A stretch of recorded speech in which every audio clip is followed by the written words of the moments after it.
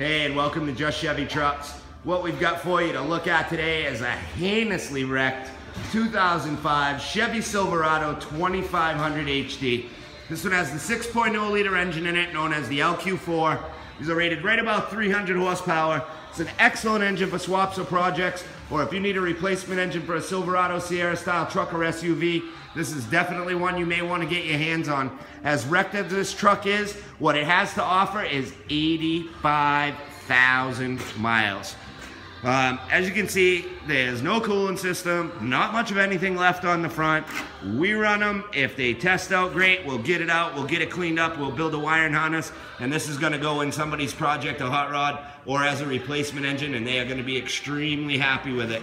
The exhaust is pretty much ripped right completely off, so I'm gonna have one of the guys start this thing up because once we fire it up, the talking is gonna be very limited. So give her a key and let's see what happens.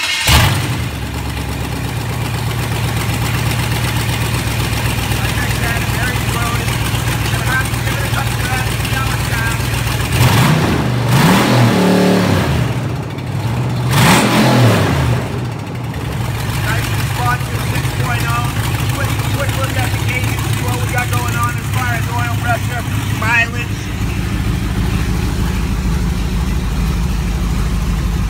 There's what we're looking for right there, 85,756. The check engine light is on because we had to remove the broken transmission to run the truck.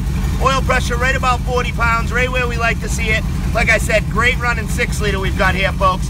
So again, if you're looking for an engine for your next project, or you need a replacement engine for that Silverado or Sierra style truck or SUV, give us a call here at Just Chevy Trucks.